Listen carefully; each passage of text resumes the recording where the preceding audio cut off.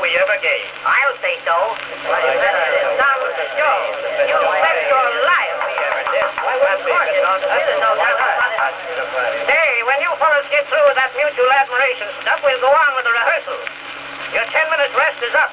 And don't forget that this is the last rehearsal at the clubhouse. I want to say, though, boys, you've all done very well. Say, Bill, that song of yours is going to be a hit. Why, Steve. You encourage me so much. and down you were wrapped in the cradle of the deep was all right. Thanks for them kind words. And also the orchestra and quartet. And he lives down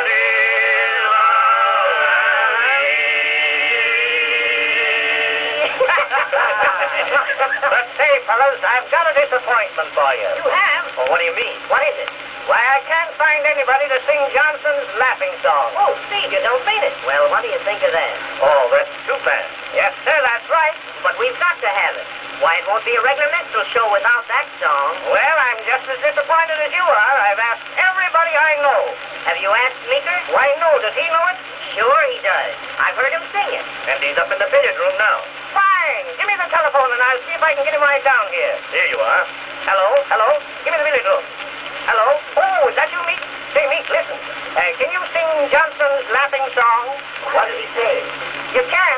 Can you come right down? We're having a rehearsal. Is he coming? Sure, he's on his way. Give him a send off when he comes in. Here he is. Thanks, fellows. I accept the nomination. Fine. Say, Meek, now for the laughing song. Does the orchestra know it?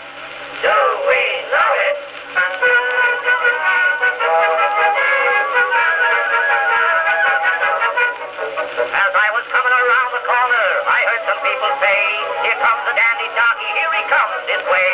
His heel is like a snow cloud, his mouth is like a trap, and when